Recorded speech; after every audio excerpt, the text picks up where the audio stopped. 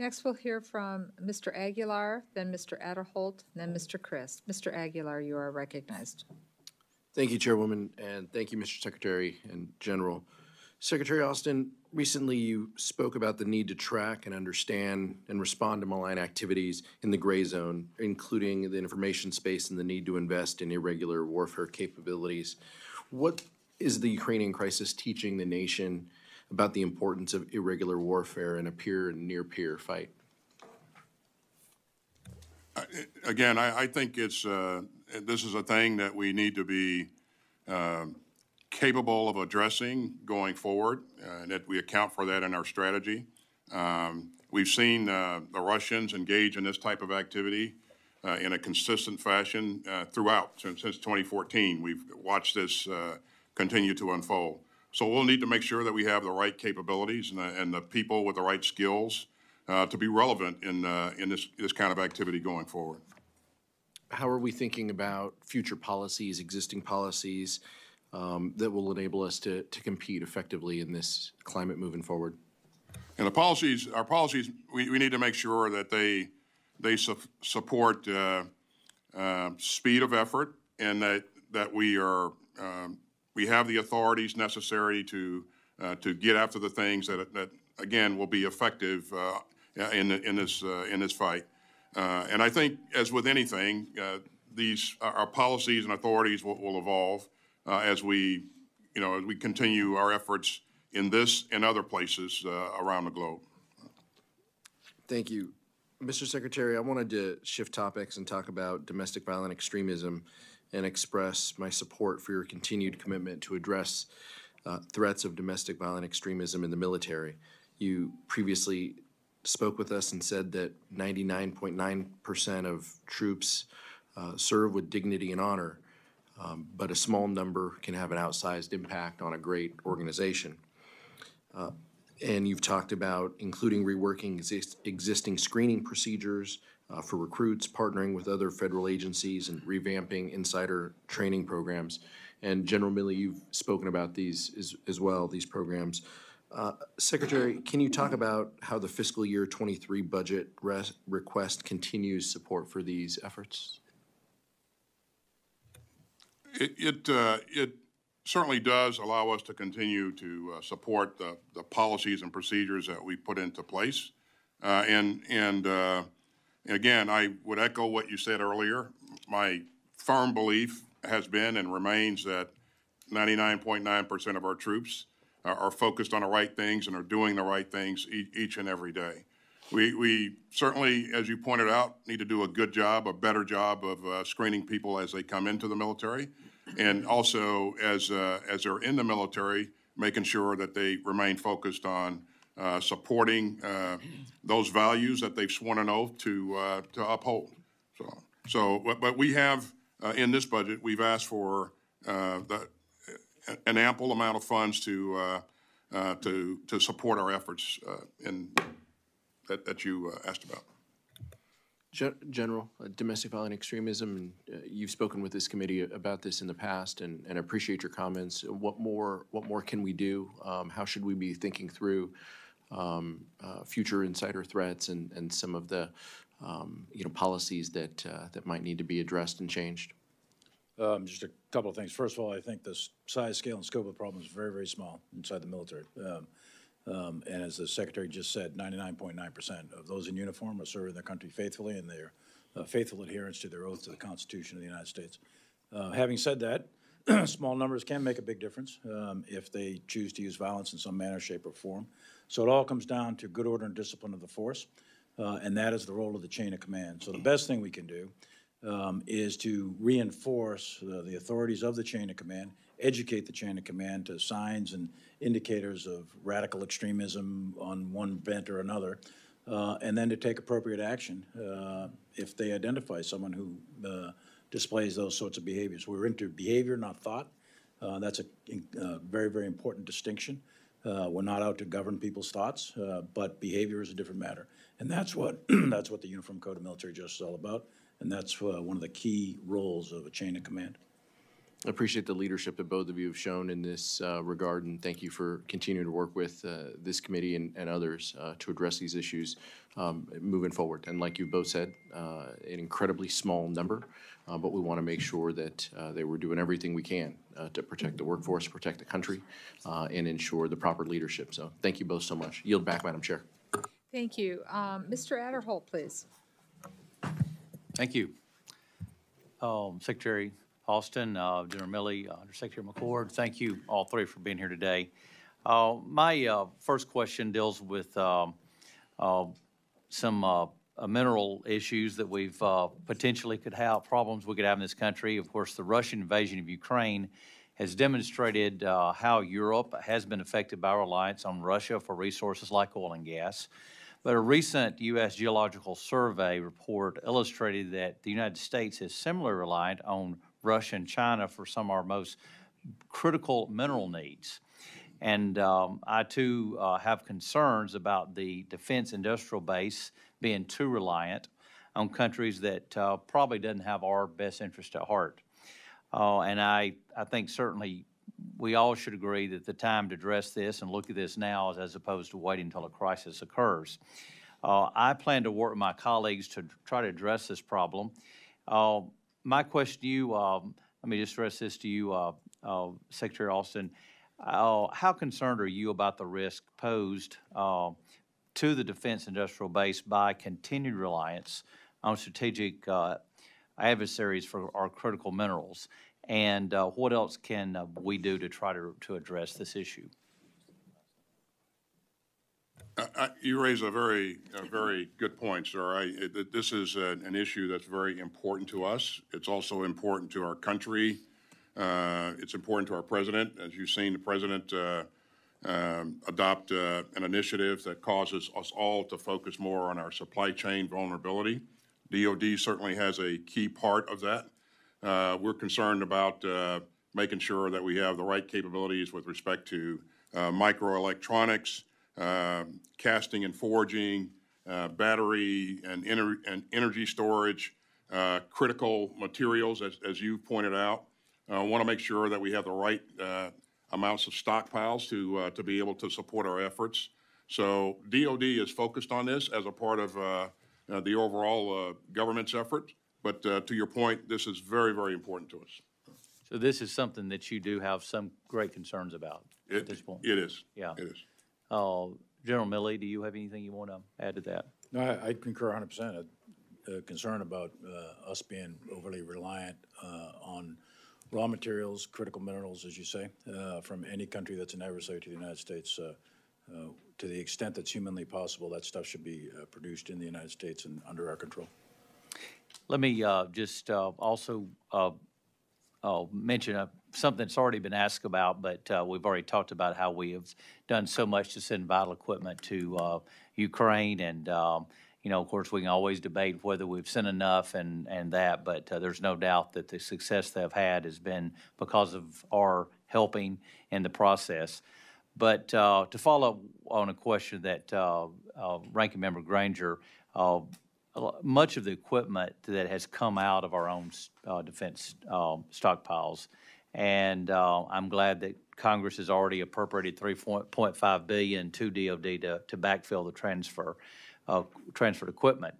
And of course, last night, the House passed uh, legislation uh, for um, additional support for Ukraine. Uh, It is clear that DOD's equipment stocks uh, could prove vital if a similar situation will arise in the Pacific and Taiwan. Taiwan. Uh, I'd like to get your thoughts on whether the Department of Defense level of stockpiled equipment and munitions should be grown to the levels larger than they were prior to Russia's invasion. Uh, Thanks, sir. Uh, And again, thanks for your support on, in getting the uh, legislation through yesterday. That's, uh, that's, that's very helpful to us. Um, As you know, we, we base our decisions on the size of the stockpile on our requirements. And, uh, you know, as we look around at our global requirements to, to support our plans, uh, we, we believe that uh, the stockpiles are, are adequate. And uh, if we believe that we need to grow them based upon changing situations or changes in our plans, then certainly uh, we'll, we'll, uh, we'll do that. We'll take that on and, and make sure that, uh, that we advise the president that, that that's a necessity. But right now, again, our requirements, uh, put us in a place where, uh, we have the stockages that we have and, uh, and we think it's, it's about right. So do you, do you think if we increased our stockpiles, it would deter aggression by China toward Taiwan?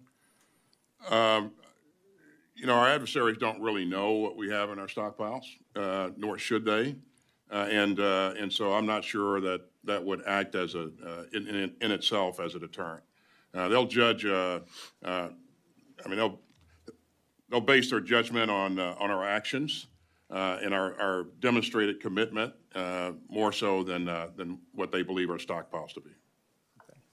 Thank you. I yield back. Thank you, Mr. Adholt. Mr. Mr. Crist, then Mr. Carter, and then Ms. Kirkpatrick. Mr. Crist, you're recognized. Thank you, Madam Chair. Um, I want to express my gratitude to, uh, to you, Mr. Secretary, and General to you as well. Um, As uh, Member Ruppersberger mentioned in his uh, beginning comments, the service you've provided to our country has been extraordinary, and um, God bless you for your dedication to uh, protecting America and freedom. Um, So I was curious, I read about the uh, hypersonics that were used against Odessa. Um, Obviously, that's very disconcerting, and I wondered if you had any commentary if we should expect more of that, or what your, what your view of it is, either one of you. Please. Um, I would, a couple of comments. Uh, One is the Russians have used uh, uh, several hypersonic missiles. Uh, the- Obviously, the distinguishing factor of a hypersonic missile is the speed at which it travels. Uh, And we have uh, analyzed each of these shots that they've taken, and I'd like to go into a classified session and discuss any of the specific details. But other than the speed of the weapon, in terms of its effect on a given target, uh, we are not seeing really significant or game-changing effects to date with the delivery of the uh, small number of hypersonics that the Russians have used. But I can elaborate further in a classified session if you'd like. Sure, I appreciate that. Mr. Secretary, you have any comment on that? No, I absolutely agree with the chairman. Uh, and They've used a number of them. Ukrainians are still fighting. And, uh, yeah, I- I'll leave it at that. Very well. Um, Is this the first time that we know that they have decided to utilize hypersonics in this war? This, to my knowledge, is the first time of use of hypersonic munitions in a combat situation, Ever? as far as I know, yeah. Yes, Hy- Hypersonic weapon. yeah. Yes, sir. No, I understand. But, but the Russians have used them several times in this conflict. And, uh, and again, to, not a major game changer to this point, so. Great. Uh, I know you don't have a crystal ball, and it's hard to read Putin's mind, I'm sure. But given the fact that he's utilizing these weapons now, these missiles, do you think that exacerbates the potential for nuclear or not? Or can you tell? Uh, it, it's very difficult to predict, you know, what, uh, or to, to say what Mr. Putin is thinking, but I, I don't, s- uh, I would not say that because he's used a hypersonic weapon, that that's gonna, uh, cause him to be willing to elevate to, uh, to use a nuclear weapon. Um, you know, again, he's, he used uh, hypersonic weapons weeks ago. And, uh, and I think he's trying to create a specific effect with the use of that weapon. And as the chairman has pointed out, uh, it moves at a speed that's very, makes it very difficult to interdict. Uh, but it hasn't been a game changer. Pardon me. Uh, he has options, you know, he, he can, you know, I mean, he, he can launch, uh, a cyber attack, he can employ chemical weapons, uh, those kinds of things that we're all on the lookout for, uh, to see if, you know, he makes those kinds of decisions. But I don't think that, that this necessarily takes him to, uh, the, the use of a, of a nuclear weapon. So we voted last night, the House, for $40 billion dollars to help Ukraine. Uh, Hopefully, the Senate will do that soon. Are we doing enough to keep Ukraine free and protect our ally as much as we should be? Uh, we're doing a lot, um, and, you know, uh, our allies are doing a lot. and we're going to continue to do everything that we can for as long as we can uh, to help them defend their, their, uh, their sovereign space. And, and, uh, and so um, I think the Ukrainians are very grateful for what we're doing for them. It, it, it has made a significant difference in their ability to, uh, to blunt the, the, uh, the advance of, uh, of a, superior Russian force. Uh, and, and so, again, uh, the- their needs will change as this, as this war evolves. Uh, At the beginning of the fight, sir, you remember, we were focused a lot on providing anti-armor and, and anti-aircraft weaponry. Uh, That uh, really put them in a, in a good place. It helped to, uh, uh, help them win the Battle of Kiev in the north. Uh, But as the fight has shifted to the south and to the east, uh, we now see that they have more of a need for long-range artillery, tanks, and armored vehicles, and those sorts of things. And in working with our allies, we're talking, talking to the Ukrainians routinely, and we're trying to provide them exactly what they think they need in the fight. Well, thank you both again uh, very much for what you're doing and protecting this uh, democracy and this great ally of the U.S. Thank you, Madam Chair. Welcome. Mr. Carter, then Ms. Kirkpatrick, and then Mr. Diaz-Balart, you'll be joining us by video. Mr. Carter. Gentlemen, welcome. Thank you for being here. I want to tell you about a conversation I had with a group of people in my district last week. Uh, you know, we're all, I've got Fort Hood in my district. You all know that. I'm very, very proud of men and women that serve in uniform, and I commend you for trying to give them the very best. But we also, as we take care of our warfighters, have to remember the burdens that things in the real world have on the that is the economy has on the uh, the families of these these war fighters.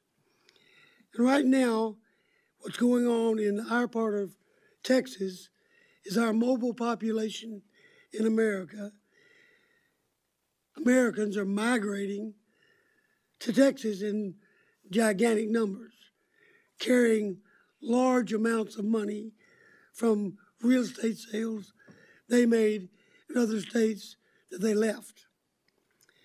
And so not only are they driving up the cost of housing ridiculously high, a house worth $350,000 real worth is selling for a million, and so forth.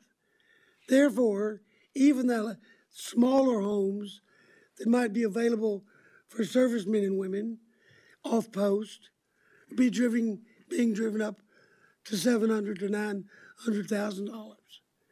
And then when they with the benefit of a VA loan, they can compete in that market.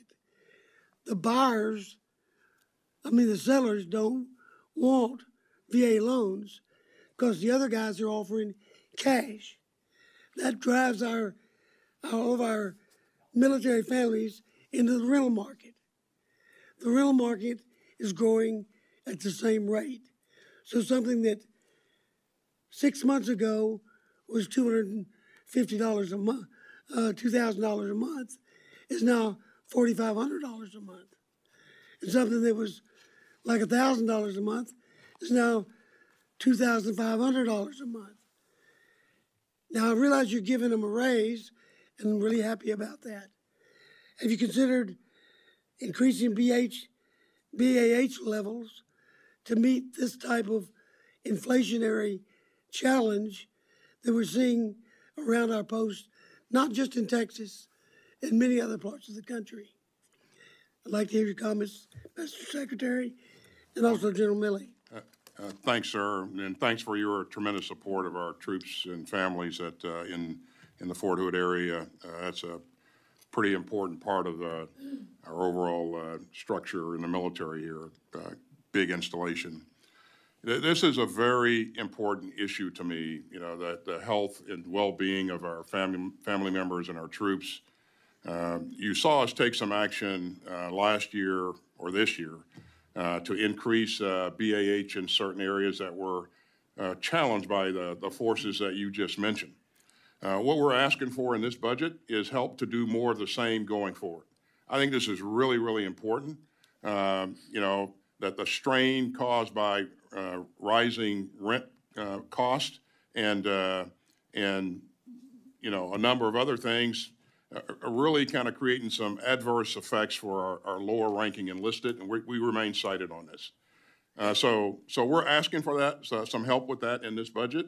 We're also asking for $2 billion to support uh, uh, the construction of uh, family housing, military family housing, and the improvement of military family housing uh, as well. So uh, thanks for your support thus far, and I, I believe this is really, really important. And so we're asking for more help uh, to, so we can do more of the same in the future. And I, I would echo everything the Secretary said, Congressman. I've known you for a long time and uh, have many fond memories of Fort Hood myself. And I heard Congressman Calvert say most of those people are coming from California. So um, I'd question uh, whether or not uh, Texas made the right choice there. But having said that, that was meant to be funny. Um, Look, uh, soldiers, soldiers don't ask for much. Uh, uh, They, they want good housing, good health care, good education, and a safe environment for their family. And, and, and I believe that, uh, I know that the Secretary of Defense has the entire department focused on it. Uh, And, and I will personally take a hard look at the BH numbers uh, to see if uh, it, it's appropriate to make further recommendations on any further increases uh, in terms of uh, housing allowances specific to the Fort Hood area or other areas that are uh, experiencing that. The- The gentleman, you- you'll, you'll enjoy my constituents. They're fine people. I hope so, I hope so. Okay, thank, you. thank I have another question, but I know I've run out of time. We'll make sure it gets submitted for the record. Um, Thank you, and uh, as you know, there's a freeway that connects Texas and Minnesota, and we have better fishing. Um, So, Ms. Ms. Kirkpatrick, we're going to go to you. Mr. Diaz-Balart, if you wouldn't mind getting ready to turn on your video. Thank you, Ms. Kirkpatrick. Thank you, Madam Chair. Uh, My first question has to do with climate change. Mr. Secretary, uh, I'm pleased to see the concerted effort in the budget addressing climate change. The Department of Defense has recognized for a while that a changing climate will have significant economic impacts across the globe, lead to food insecurity issues, and potential shifts in regional balances. The Department of Defense is proposing to invest 3.1 billion in this budget for increased generators, storage, and resiliency at military installations, which is a top priority for Fort Huachuca and Davis Monthan Air Force Base in my district. This funding would also go toward improved energy efficiency and logistics and research in reducing energy demand, improved storage, and other energy supplies. Secretary Austin, what are your goals as you direct the department's efforts to meet the climate challenge? Well, well, thank you, and I think you uh, nailed it right away when you mentioned that this does affect not only our, our installations, as we look at our installations and the- in the coastal regions uh, with the effects of rising uh, water levels, uh, the effects of severe weather, as we have had to deploy troops uh, with a greater frequency to address the aftermath of uh, severe storms. Uh, We're deploying troops to fight fires. Uh, But to your, the point that you made earlier, in the, in the, the regions that we operate in, we're seeing climate change cause migration in some cases and competition, increased competition for water. So DOD is the, uh, is the largest uh, consumer of energy in the, in, in the government.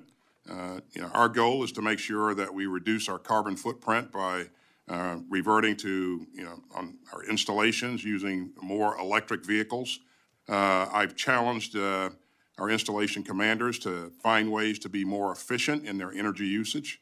And so we have a number of ongoing projects and efforts uh, to reduce that carbon footprint and be more good, uh, be better stewards of, uh, of, you know, our resources here. But I, again, to the point that you've made, we're asking for uh, $3.1 billion in this budget uh, to help with our efforts uh, in addressing installation resiliency and energy storage. Thank you. My second question is for General Milley. Uh, It has to do with military medical reforms. The military health system is undergoing its most significant transfer, transformation in decades. Medical reforms have included a transition of military treatment facilities from control of the services to the Department of Health agencies and reducing military medical manpower in support of the services lethality, prior- priorities. General Milley, are you concerned about the direction of mili- military medical manpower? Are efforts being coordinated across the military services and with the joint staff? And what are the concerns with the medical manpower reductions the services are anticipating? The, um, th- thanks for the question. The uh, key issue here is the readiness of the force and the medical readiness of the force. And do we have enough doctors, uh, nurses, and medics, uh, or corpsmen, uh, in the uh, fielded force uh, to handle combat conditions? And are there enough doctors and nurses available to man combat support hospitals and other field hospitals that are necessary in combat? And, and candidly, I do have concerns about that. Um, It's a very challenging subset of our overall military personnel uh, challenges. Uh, But that one in particular uh, causes great attention because in time of war, as we all know, there'll be significant casualties. In peacetime, you're, you're manning these uh, uh, treatment facilities, these hospitals and clinics. Uh, But in wartime, they're going to go forward, and that is where um, the readiness issues will show up. Right now, we're okay on a day-to-day basis, uh, but I do have concerns that if we did have a uh, significant conflict uh, in terms of our medical personnel and our ability to deploy. Madam Chair, I have another question, but I'm just about out of time, so I'll, I'll submit that for the record, uh, and I yield back. Thank you. Thank you, Ms. Kirkpatrick, and we're going to be having uh, a military health uh, hearing where we'll get in more depth in that. Uh, Mr. Diaz-Balart is submitting questions for the record. He had to leave, so we're going to turn to Mr. Rogers and then Mr., excuse me, Ms. Bustos. Mr. Rogers. Mr. Secretary, Undersecretary, Mr. Rogers. Oh, it's on, it's on. can you hear? And General, welcome and thank you for your lifetimes of service to the country. Uh, It's appreciated by millions of Americans. Um, Let me bring up a topic that i- is tough to deal with, and that's escalation, or the possibilities of escalation uh, in Ukraine. I know it's our policy uh, to not be directly involved, uh, and uh, you've maintained that distance. However, um, the, the, the Russians have no compunction about the morals or fair play or rules of war, if you will, and are demonstrating that daily. Um, Suppose, for a moment, that the Russians decide to go after the missile sites in Poland uh, or in, in the region of any sort. Uh, what do we do? What are the rules of the game that we're into here in this, in this battle? Well, thanks, sir. Um, And to your point, it's, it's um, always dangerous uh, to go down the road of hypotheticals, but uh, this is an issue that's very, very important. Uh, If, if Russia decides to attack uh, any nation that's a NATO member, uh, then it's, that's a game changer. Uh, Then, you know, by with respect to the Article 5 commitments, uh, certainly uh, NATO would most likely respond as a, as a coalition in some shape, form, or fashion. And this is a thing that, you know, NATO has, uh, has looked at, uh, what it takes to defend NATO countries. It's a thing that's important to us uh, as well. But as you look at Putin's calculus, uh, my view, and I'm sure the chairman has his own view, but my view is that Russia doesn't want to take on uh, the NATO, NATO alliance. Uh, He's got uh, you know, a number of uh, troops arrayed in the, in the region right now on the Ukrainian border. And he had some in, in Belarus and still has some there. But there are 1.9 million uh, forces in NATO. Uh, NATO has the most, uh, most advanced uh, capabilities of, of uh, any alliance in, in, in the world in terms of aircraft, ships, uh, you know, types of weaponry that the, the ground forces use. So this is a fight that he really doesn't want to have, and that would very quickly escalate into another type of competition that no one wants to see. General? I, I would just uh, say, Congressman Rogers, that um, we monitor this literally every day. It's one of the most significant things we're doing is monitoring the potential risk of escalation in any domain uh, and uh, by geography, by type of weapon, et cetera. And it's something that the Secretary has us laser focused on, the President has us laser focused on, and the National Security Establishment is monitoring it very, very closely. Uh, We can give you uh, more thorough briefings uh, in a classified session. You asked the question about what we would do. Uh, It, it, of course, that's speculative, but uh, there are conditions, there are contingency plans, there are things that we have looked at and will continue to look at, and we monitor it every single day very, very closely. Are we prepared to respond in some fashion? I, I would say that it depends on the, um, you know, the situation, uh, type weapon, uh, nature of escalation, where was it, was it Article Five, was it not? There's a, there's a laundry list of questions, and depends on what the answers to those questions are. But in the, the short answer is yes, of course we are. Militarily, we are very, very capable of responding uh, to any form or fashion of escalation if directed by the president.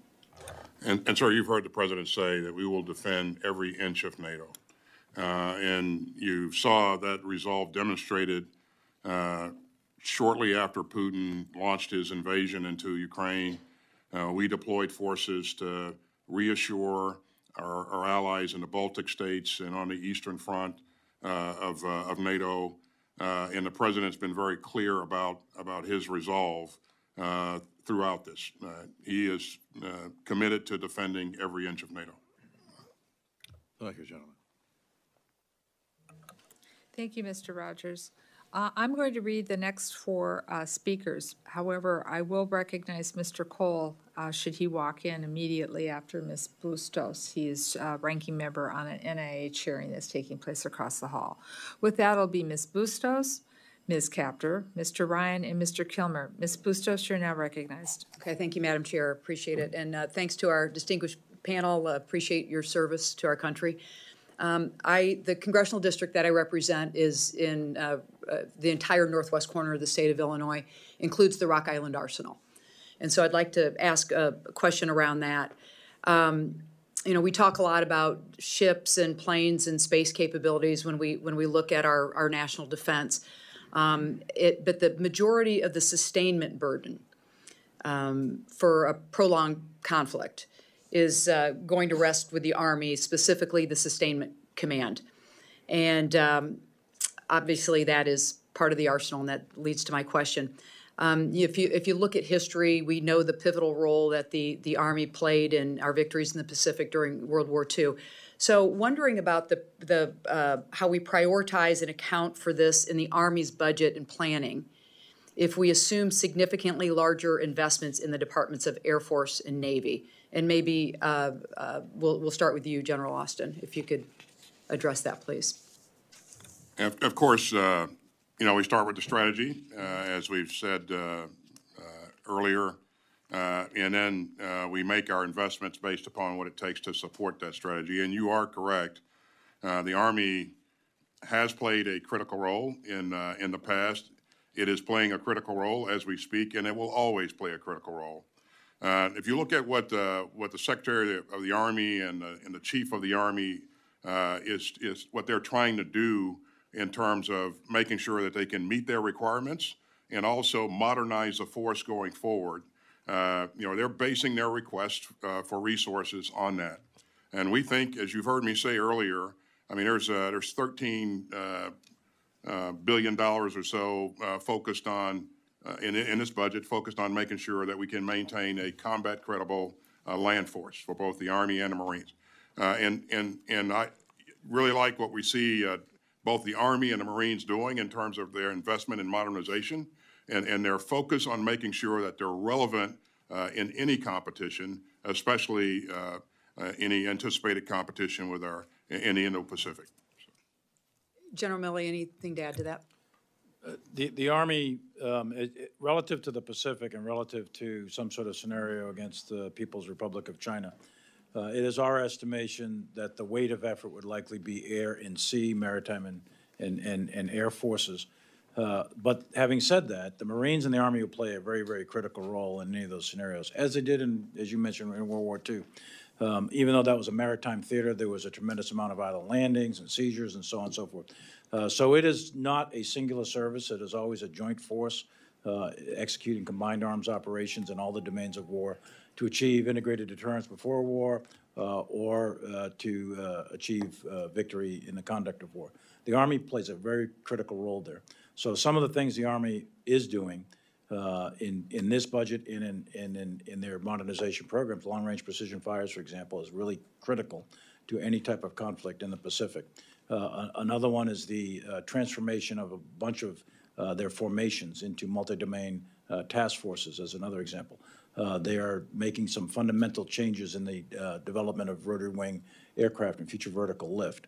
There's a whole series of modernization initiatives as we move into the future, into the change in the character of war, into the future operating environment that the Army is doing to transform itself so that they can achieve an effect, not only in the Pacific, but anywhere else in the world. The modernization efforts are, are really exciting. I co-chair the, uh, the Army Depot and Arsenal Caucus. I co-chair that, and, uh, we were briefed recently on the modernization efforts, and I'm, I'm gonna get into that a, a little bit as well. So also at the Rock Island Arsenal, uh, we're designated as the Army's Advanced Manufacturing Center of Excellence. We're very proud of that, and, you know, obviously supporting the Army's overall goal of, of modernization. So I'd like to get your thoughts on the importance of advanced and additive manufacturing to the Defense Department. Um, it- th- That is what is being uh, uh, centralized through the arsenal. Uh, General? Thanks, uh, and thanks for your support throughout. But uh, this is a very important capability. Uh, You know, if you look at additive manufacturing, it al- it enables us to produce um, some exquisite types of components, um, and we can do that forward and, and, and save time and, and and stress on our, on our logistical chains. Uh, And, uh, and so I think it's a great capability. And as this continues to develop, I'm pretty excited about the possibilities. But, uh, but I, we know that, you know, a lot of that is, uh, is playing out uh, in your home state, and we, we appreciate the support that you provided them, so. Uh, 13 seconds left. General Milley, anything to add to that? It's a great capability, and we appreciate what's happening at Rock Island for the entire force. You guys come over and see us, okay? Absolutely. You're invited. Thank you. I yield back, Madam Chair. Thank you. Um, Mr. Cole unfortunately will not be joining us, so it'll be Cap, uh, Ms. Kaptur, Mr. Ryan, Mr. Kilmer, and then Mr. Calvert and I will, um, wrap up the hearing. Uh, Ms. Kaptur. Thank you, Madam Chair. Um, Secretary Austin, uh, General Milley, thank you for your exemplary lifetime of service to the people of our country. What a great example each of you are to the young people aspiring uh, in our country. Um, I'm going to make just a couple little short statements, and then I will focus on naval readiness.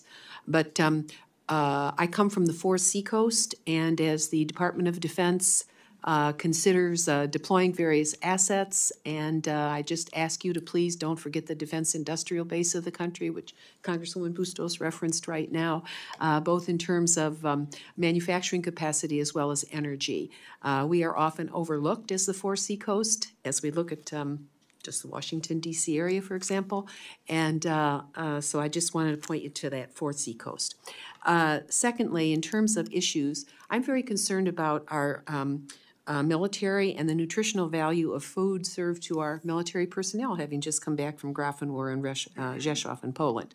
And I would like you to find someone in the department that could come to my office and we could discuss this.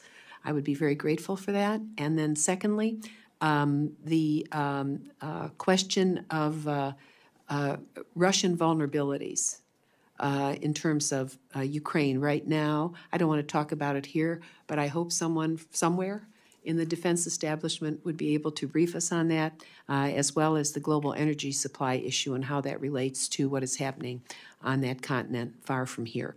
Uh, thirdly, I just wanted to mention the issue of behavioral health And um, I was down at Southcom with some of our members years ago, and shortly thereafter, though the topic of the meeting was behavioral health, extremely high pl- uh, ranking individual took his life in Bahrain, some of them I had met down there. And so um, I can put this on the record as a member of the Mental Health Caucus here in Congress. We have one, we are 100,000 neuropsychiatrists short as a country. We are 400,000 behavioral nurses short.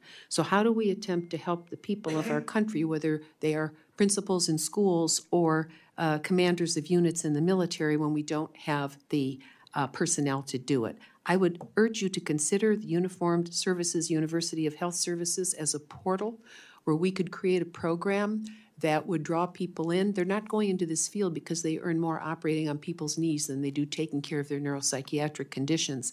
But maybe we could have a combined military civilian uh, program that would draw people into this so we could help the people of our country. I just want to put that down. Finally, in terms of naval readiness, I have to say I'm terribly concerned about what happened on the George Washington and on the WASP. I know that um, one of my other subcommittees, we deal with um, nuclear weapons. And the time it's taking both to retool the weapons as well as repair ships is creating a dispirited situation for some of our naval uh, personnel, for example, who thought a ship would be maybe repaired by, if it's sitting in Newport News, you know, a year ago or a year and a half ago. For hundreds of those sailors, they have no access to housing uh, or a car, and they're stuck on the ship. This is really demoralizing. And I am troubled by the defense submission on, on the Navy because I see it getting worse. Uh, and so I just wanted to point a flashlight at this part of the budget and say, we got to do something. And I'm not sure what it is, but we can't keep trying to do everything and not doing it well and not taking care of those who are in service to our country right now and the equipment that we are using and to try to get a faster pace to repair. The George Washington's going to be up there in uh, uh, dry dock for another year. It was supposed to be finished in 2022. So I'm really worried about this issue, and I'm hoping at another briefing or somehow we can get greater clarity on where we're headed on this.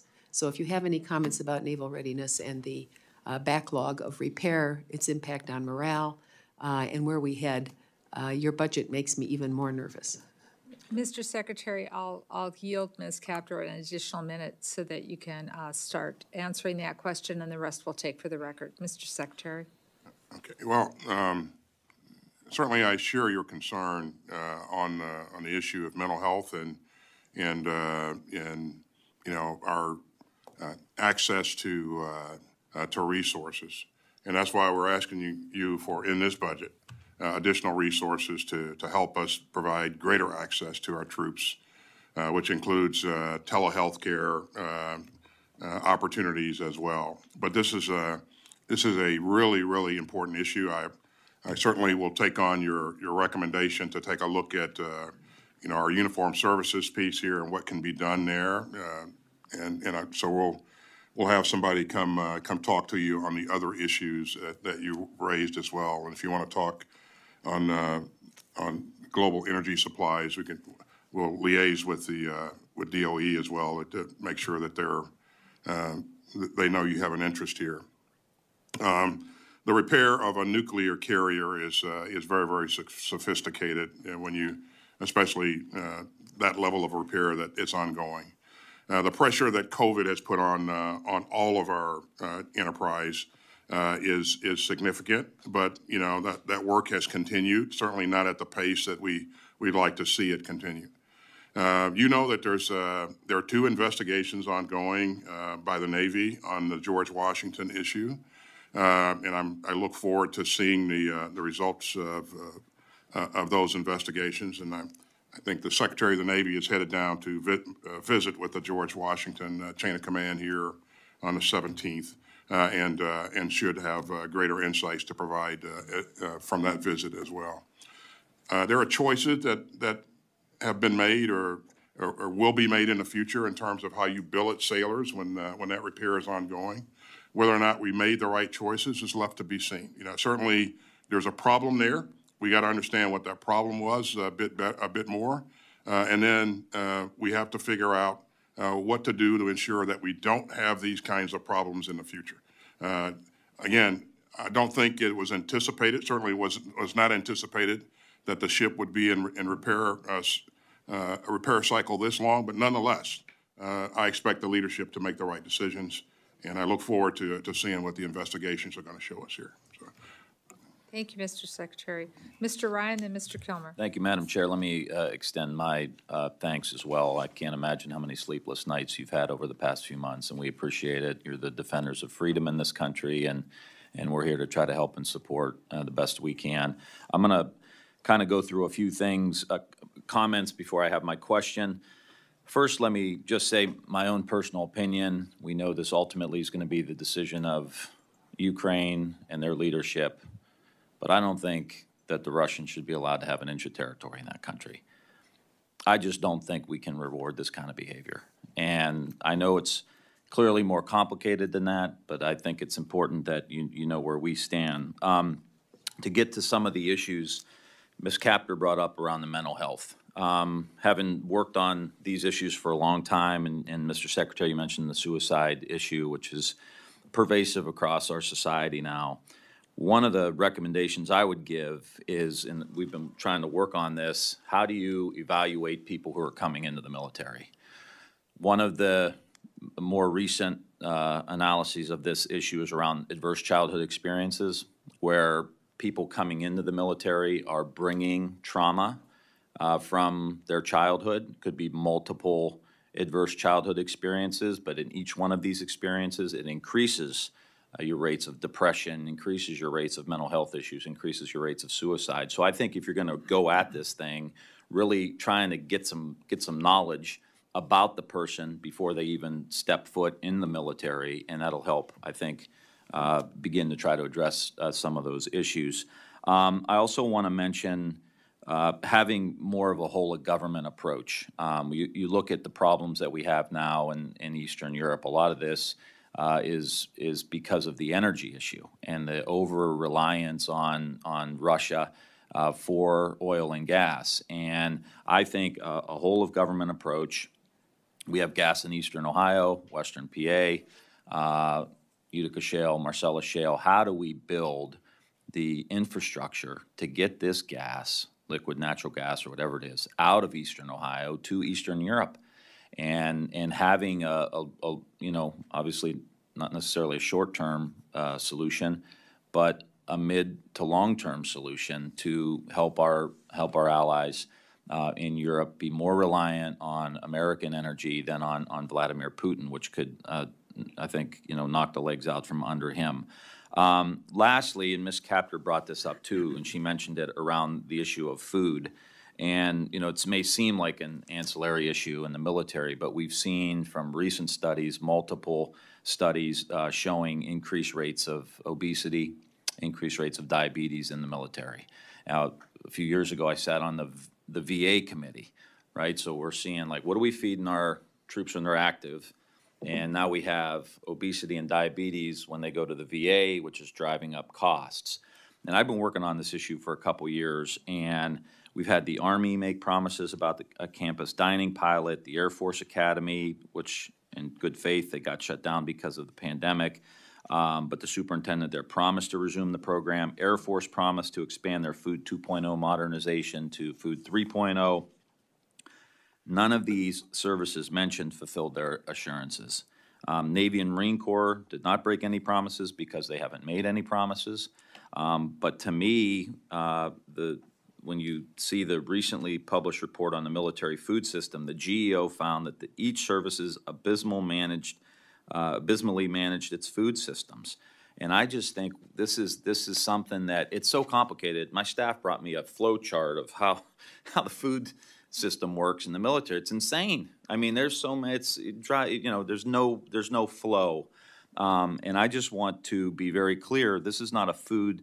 Um, this is a food management and operations problem. This isn't a nutrition problem. Everybody knows what we should be eating. I mean, it's it's a pretty common knowledge.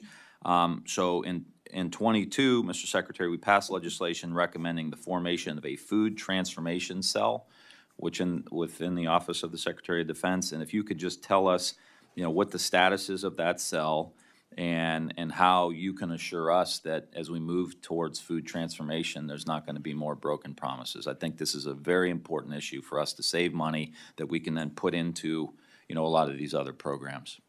Mr. Secretary, once again, I'll give you a few extra uh, moments here to answer the question. Thank the chair for her generosity. Well, thanks, sir. First of all, let me thank you for your interest in this and the work that you've done in, uh, in the past.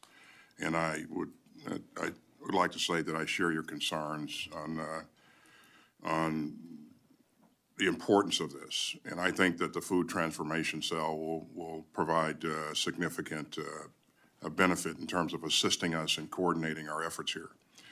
Um, That cell is going to be stood up in September, and uh, then in October, uh, we'll submit a report to you on, on how we stood it up and, and, and the progress that's been made to date. So we're, it, it's, it's a work in progress, but uh, September is the date when that cell will, will start. Thank you, Madam Chair. Mr. Kilmer?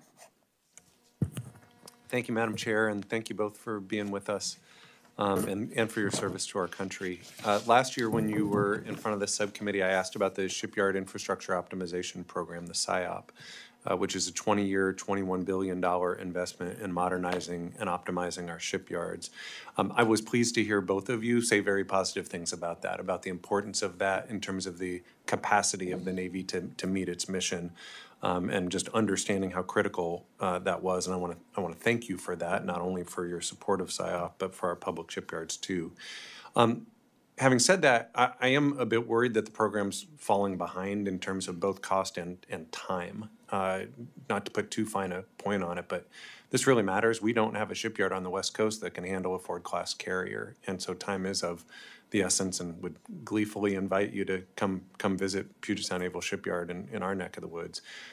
Um, the SIOP relies on area development plans to inform the optimization program uh, portions of the SIOP and provide accurate schedule and cost estimates.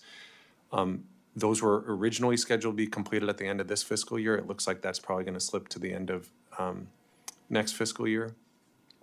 The or even later, uh, the Navy almost also promised to provide a SIOP strategic framework to coincide with the release of the president's budget, but Congress still hasn't received that plan that guidance aligns all the SIOP act- activities and provides the overarching framework to implement the SIOP as it moves from the planning into the ex- execution f- phase. So I'm just concerned that delays both to the area development plans and to the SIOP strategic framework could postpone implementation of some investments that really need to happen for the Navy to meet its mission. Um, so I, I guess I want to hear from you sort of what the plan is for just making sure that this program stays on track uh, and, and what your office is planning in that regard. Uh, Thanks, sir. And again, thanks for your support and your focus on, on this. Um, It, it is truly important in, in terms of making sure that we maintain a world-class capability that we've had and will continue to have with our United States Navy. Um, We invested uh, in this last year. Uh, We're asking you for $1.7 billion uh, to, uh, to put towards this work uh, going forward. It's, that's an historic amount. It's twice the amount that we invested in last year. Um, It certainly helps to get a budget passed on time uh, so that uh, we can make sure that, uh, that we're, you know, implementing our plans on, on time. And, and, and clearly, I believe that going forward, without the impacts of COVID and some other things, that we'll be able to come closer to, uh, to meeting our, our goals and objectives. Uh, But, uh, but again, we're not where we want to be. Uh, This is important to the Navy, and, uh, and again, we'll make sure that the Navy is doing everything it can uh, to maintain pace, and we're going to have to pick up the pace here, so. Do you envision a future in which we have to, or you have to set specific targets and metrics and timelines and milestones to just ensure that the Navy's keeping on track? Uh, Navy has those, uh, but, but certainly uh, making sure that they, that they execute uh, in accordance with the plan is, uh, is important. And if, and if those, uh, those goals and objectives are, are insufficient, then, you know, we'll revisit that. Let me ask with the time I have left. Um, I know unmanned vehicles are a key part of the cutting edge technologies uh, that DoD is using now and in the future to combat threats from Russia and China and elsewhere. Um, The Navy's 30-year shipbuilding plan calls for an increase in unmanned assets. That plan proposed to grow the fleet of unmanned subsurface vehicles from zero in the current inventory to potentially 50 by fiscal year 2045. Um, Growth in these technologies will lean on installations, including Keyport in my neck of the woods, uh, which is one of the leaders in UUVs, uh, un- unmanned underwater vehicles. As the Navy begins to acquire more unmanned vehicles, how can Congress ensure the Navy is ready to operate this technology alongside man- manned vehicles? Well, you know, we're still learning a lot. Uh, I, I point to some of the work that, uh, that the Fifth Fleet Commander is doing out, out in, uh, in the Middle East. Uh, It, this is tremendous capability that we've just begun to scratch the surface on.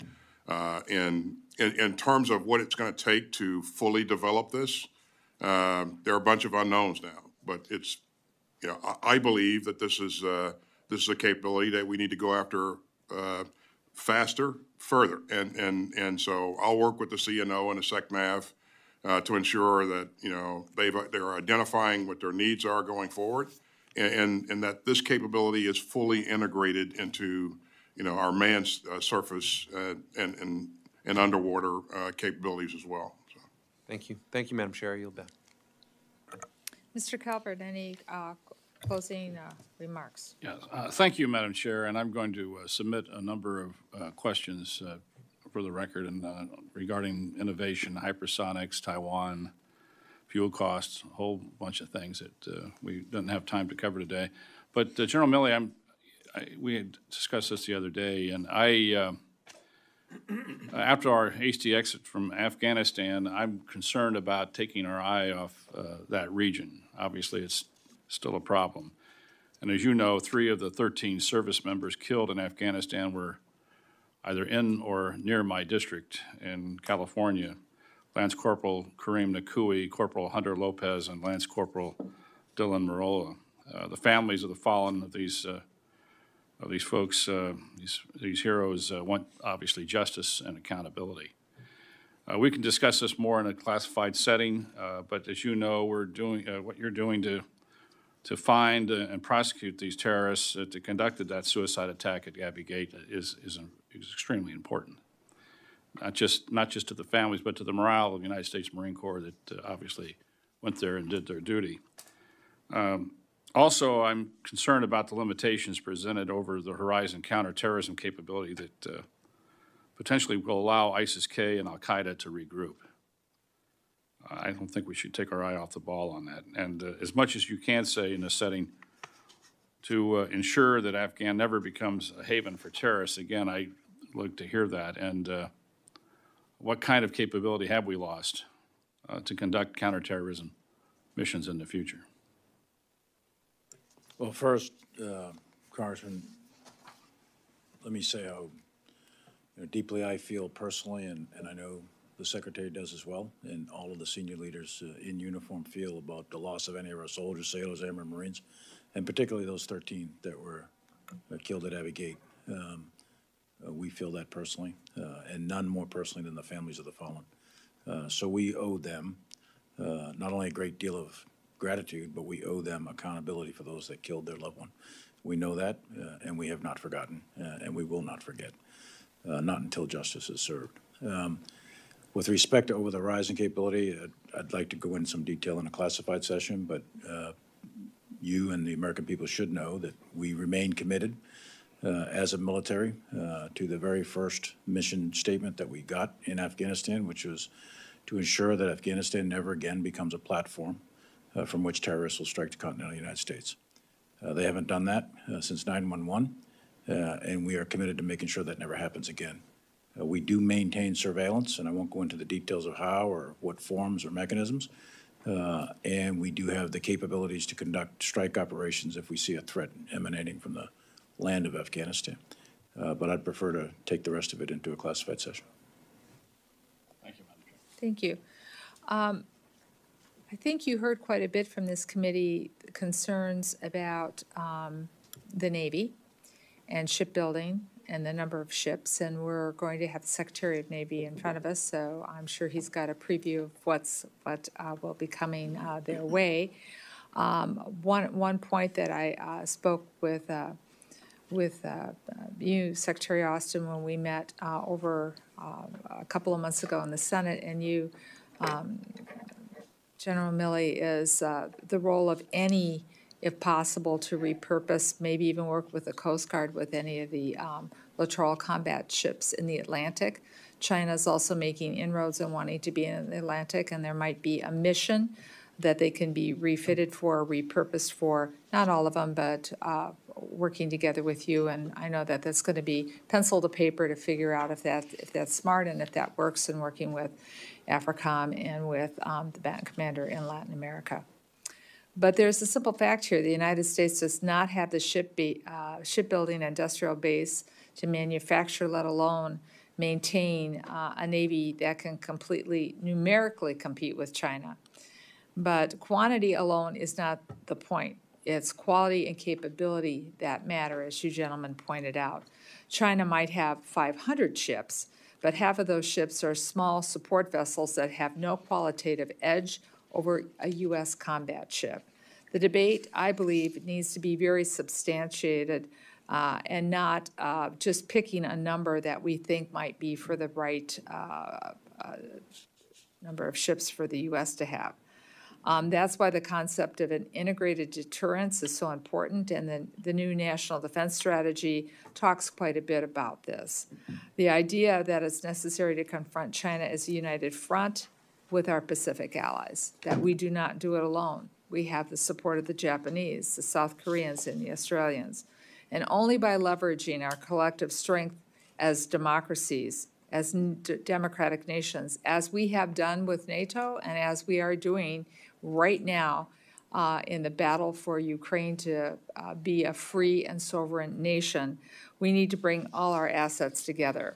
So, for the record, uh, China, as, as I said, has about 500 ships, 230 are smaller support vessels. United States has 290 combat vessels.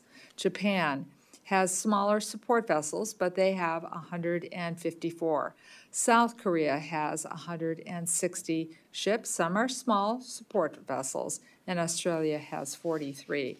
So, um, as we talk about how to right size the number of ships we have, but also repair the ships that need to come in, we're going to have some real in depth discussions with the Secretary of Navy about what's happening in our shipyards. Uh, another I- item that um, this committee needs to work on, and, and, and shipbuilding uh, involves the, the public-private partnerships that we have. It also involves Milcon, and it also involves the authorizers. Ken, uh, Mr. Calvert and I just don't do this alone. We're going to have to have robust discussions. An- Another, another place where robust discussions have to take place, because at the end of the day, we're the bill payer, uh, needs to be on base realignment. Once again, that's going to be the authorizers. It needs to be Milcon and our committee. And these are uncomfortable discussions to have, I realize it. But BRAC, uh, which is under the preview of the authorizers uh, and the Military uh, Construction Subcommittee, have to start working with us to address these issues. I want to fully state my support for a new round of BRAC. The department has stated in recent years that it has nearly 20% excess infrastructure, and we pay for that infrastructure to be maintained, and it's doing nothing. Many of our installations were aligned and built in the wake of World War II. And uh, as we have clearly discussed today, the world has changed. A new round of BRAC is necessary, and I believe it could save taxpayers billions of dollars, and it could also save the department a lot of time and energy expenditures maintaining something that is not useful to the department anymore. I'm not asking you to comment on these issues we will be submitting questions for the record and questions for the secretary. So I want to thank you both for coming. I want to thank you for answering our questions live today and taking all the questions that are coming your way in written form. And I also want to give a special thank you with, and I think you'll agree with me, to Mr. McCord. You are, you are on call. You are in my office frequently. You take, you take questions that this committee staff works on as we prepare the budget and uh, so that we have the best bill possible to uh, make sure that our national defense needs are met. So thank you again. Uh, thank you for all those who serve under you, with you, and your families. And this will conclude today's hearing, and the committee, the subcommittee stands adjourned.